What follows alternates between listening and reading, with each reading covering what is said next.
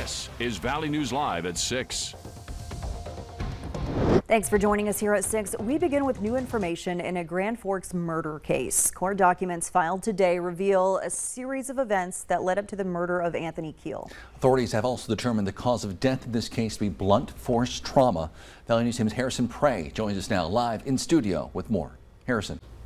That's right, Justin Stacy. Two men were arrested in the case last week, Donald Barlett and Nicholas Ride Arnold. Charges were filed today. Barlett was charged with murder and Ride Arnold with conspiracy to commit murder. At around 9 o'clock Thursday night, Grand Forks police responded to a 911 call from an apartment complex on Cherry Street. When police arrived, they found Keel with substantial trauma to his face.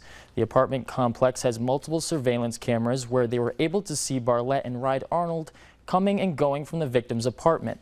According to court records, Bartlett was seen leaving the victim's apartment just before 7 o'clock. Video surveillance shows him with his blood on his hand. About 20 minutes later, Bartlett returns and Nicholas Ride Arnold sh also shows up. The pair leaves around 7.30. Bartlett allegedly told a witness that a guy on the first floor came at him with a knife, so he had to beat him up.